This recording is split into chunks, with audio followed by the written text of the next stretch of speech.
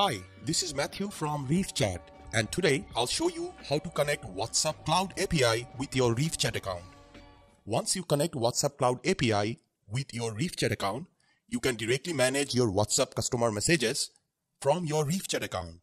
So, where you can find the WhatsApp Cloud API integration on your REVE Chat account. First of all, you need to log in to your REVE Chat account. After login, you need to go to the integrations. Under integrations, social media channels, and then WhatsApp. Here you can find the WhatsApp Cloud API. So from here you can connect the WhatsApp Cloud API with your REVE Chat account.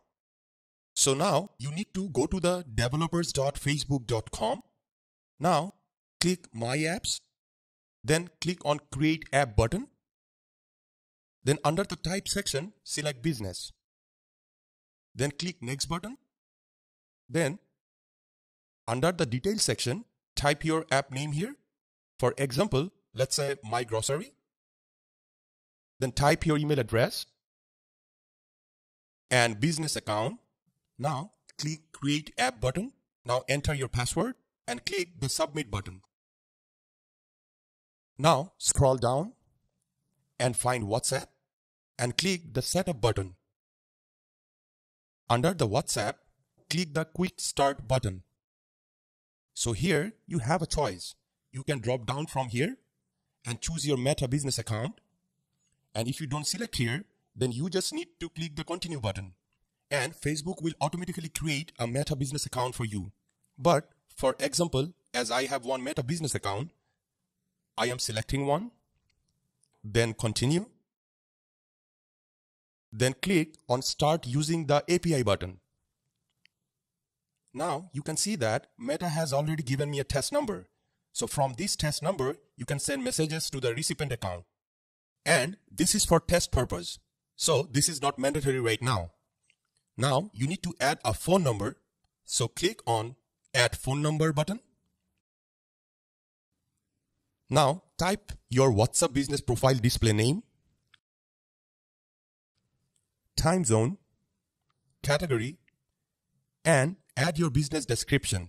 Actually, this is optional and click the next button.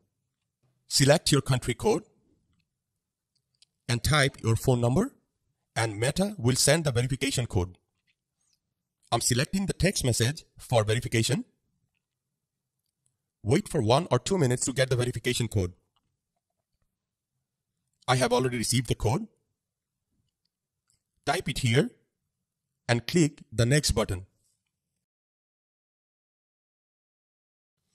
Now you need to go to your REVE Chat account, click on connect to Facebook button. Now I am selecting one of my Facebook account. Now select your WhatsApp business account. I am selecting as my grocery and then click the next button. Now select the business that you want to use REVE Chat app and click the next button. I'm selecting all of these options and click on done. Now click on OK. You successfully linked REVE Chat app to Facebook. Now you can see the callback URL and the verify token. Copy the callback URL and get back to the configuration page. Click the configuration button under the WhatsApp menu. Click the edit button and paste the URL here. In the same way, copy the token and paste it here. Then click verify and save. Now select the webhooks. Then click the WhatsApp business account. Now subscribe to the message. So now it's time to switch from development mode to live mode. When you will try it, it will say that you need to provide a privacy URL. Now I'll go into the settings and then basic. Now put the website privacy URL here. As I am putting one, then click Save Changes. Now switch from development mode to live mode. So it's now live. And lastly, get back to your REVE Chat account and just click the Done button. Now you can see that the WhatsApp number is connected with the WhatsApp Cloud API and My Grocery and the corresponding phone number. Great, you are all set. Thank you.